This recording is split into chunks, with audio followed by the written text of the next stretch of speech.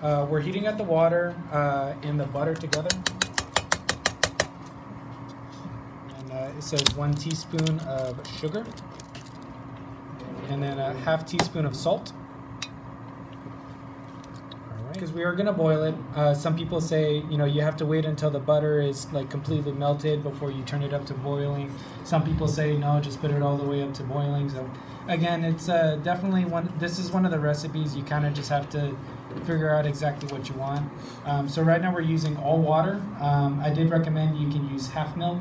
Um, if you do uh, ha- replace half of it with milk, so uh, like 113 grams of water, 113 grams of milk, for example, uh, it will make the uh, make the shell uh, a little a little like a little bit softer.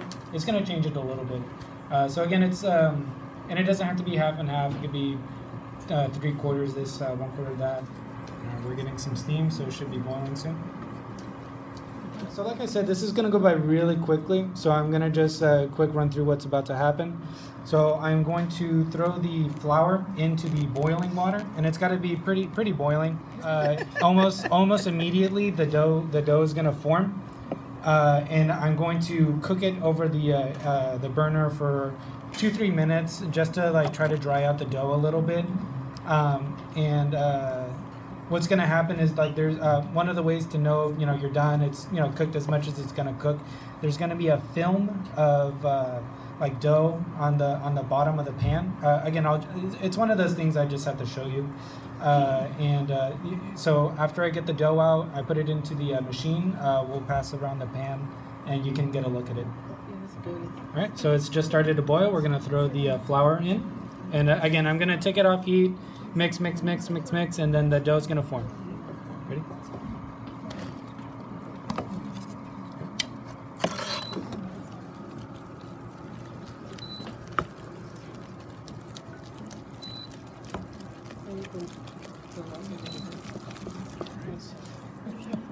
Okay, so uh, there's still some dry spots. Got to move.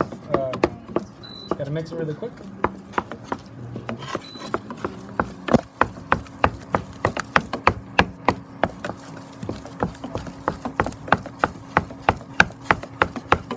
Again, and, I'm just constantly moving it just so that uh, make sure it's evenly cooking. Yes.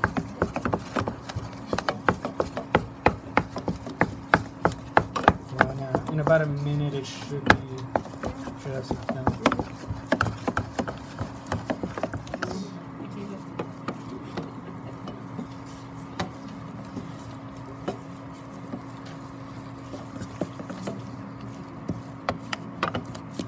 Put the choux pastry into the bowl. Okay. Two, you said toothpaste? Choux, choux pastry. Choux, okay. Do you wanna pass it? Okay, uh, so my milk, uh, the milk and sugar mixture has started to boil. Okay. Perfect. Okay. All right, uh, and so I'm gonna temper it into my egg yolk mixture. Yeah, tempering. So I'm only going to pour in about a third of the uh, milk mixture, just to kind of heat it up, mix it in with the egg yolk, so that when I pour it back into the pan, uh, it's easier to mix, quickly mix, and uh, even cooking is the key here.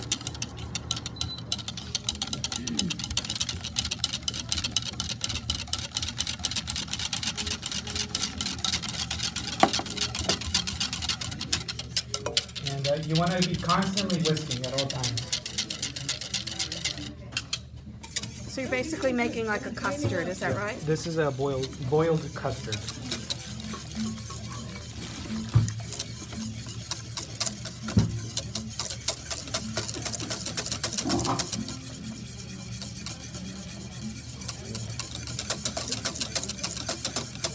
Even for you know three four seconds, uh, the part closest to the bottom is going to cook more than the rest, and then you get a very chunky uh, chicken. So like I said, you got to keep whisking, keep whisking, keep whisking. All right. So now that it's gotten to the stage, we have our butter. Unsalted. Unsalted. Plop it right in there.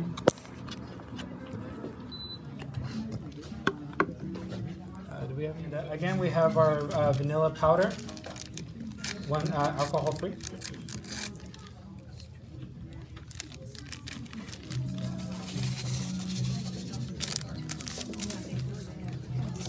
And then you're gonna mix the butter and the vanilla off heat.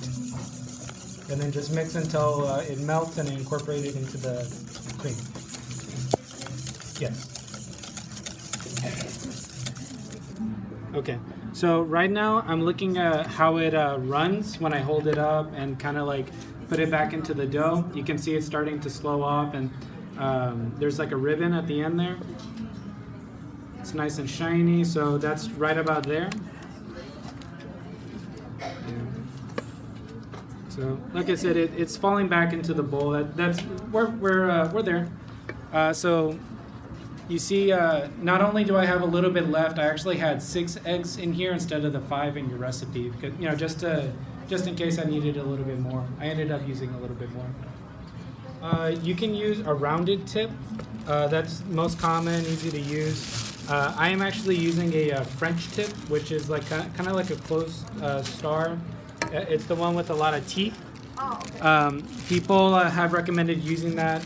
Uh, it helps with the rise because again, this is gonna puff up, and it's gonna have like a little um, a, a void in the middle, and so that just helps with the shell formation so that you have nice even layerings. And this is the tip, the tip that I'm currently using, but you can use a uh, a rounded tip.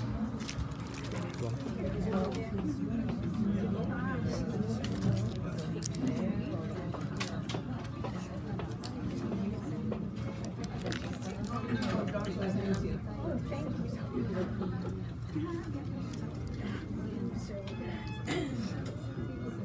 I'm, uh, I just, uh, as an example, did some ones for some cream puffs and then ones for eclairs. Uh, you know, eclairs are just long cream puffs. And then if you have kind of a tip on the top, you can get a little bit of water, pat it down. Otherwise, it'll burn when you try to bake it. So uh, we're gonna pop it into the oven. Uh, you're gonna go 425 for about 15 minutes. And then we're going, after 15 minutes, when it starts to puff up, reduce it down to 375 for another 15. So that's just where you get the puff, and then you can start cooking on the inside. Because if it's moist uh, on the inside, it'll uh, after you know about an hour, two hours, it'll actually uh, uh, make uh, make it softer after a little while, and it won't keep. So I'm gonna hand this off. Okay, so Luis is filling his lovely fresh cream puffs straight out of the oven. He's piercing them with a pastry tip. Mhm. And now he is taking his pastry bag filled with a custard filling. He's inserting the tip and he's squeezing until it's full.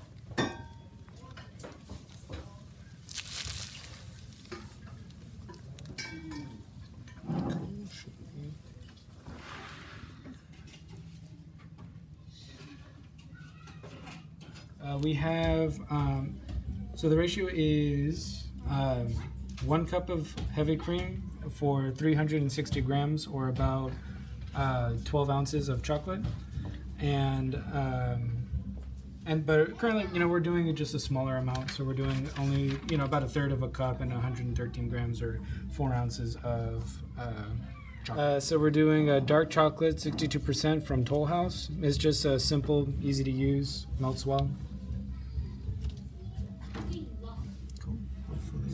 The uh, heavy cream has come to a boil, nice and hot. We have our chocolate. Tell us what you're doing. All right, so we have our uh, we have our heavy cream. It's come to a boil. Our chocolate chopped. We're just gonna go ahead and pour that over it, and kind of shake it, make sure everything gets covered. And we're gonna let it sit for about five minutes. When it's So we're just mixing the chocolate. You see, it's all melted now. Nice and homogeneous.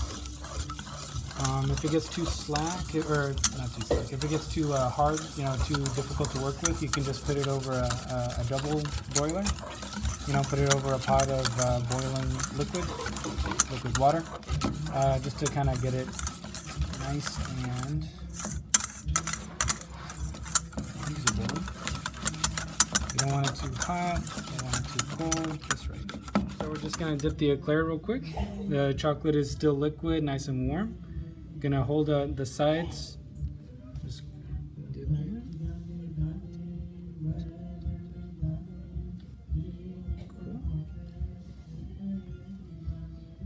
Try to take the tip off